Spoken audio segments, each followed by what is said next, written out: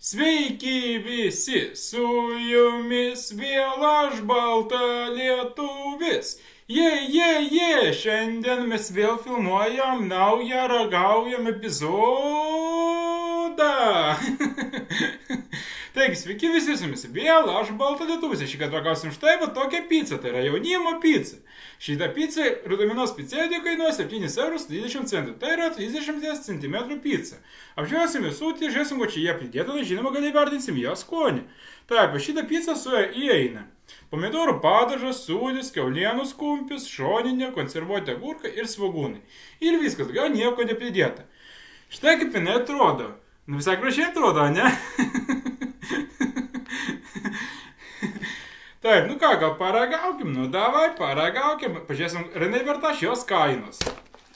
Taip, nu davai, šitą vieną gabaliuką, kurį suvalgysim, įvertinsim skonį, žinoma. o, pat taip jinai atrodo. Fū, blemba, karšta. Mmm.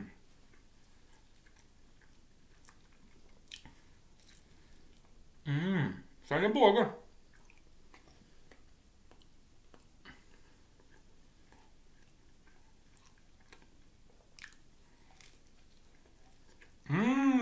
Mmm,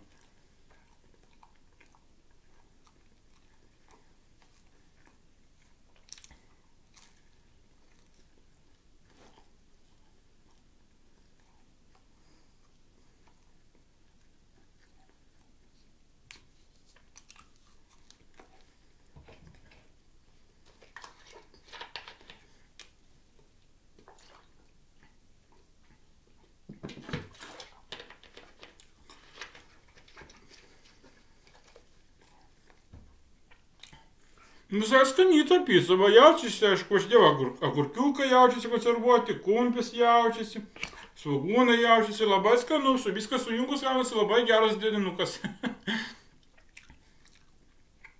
Na, skonį vertinčiau kokiu, nu, kokiu tikrai devynetų įvertinsiu, nes visgi žinokit skanu.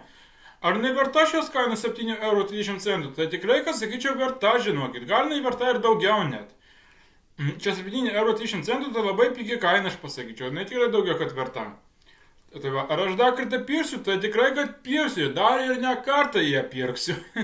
Nes visgi 9 tai vertinu, tai patikėkit, tikrai jinai labai labai skani yra.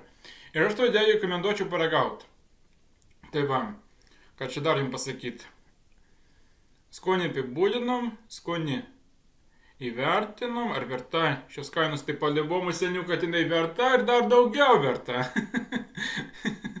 tai va, jeigu patiko šis video, būtinai paspausk. Laiką, subscribe, aš baltą dėtubį, kitą kartą.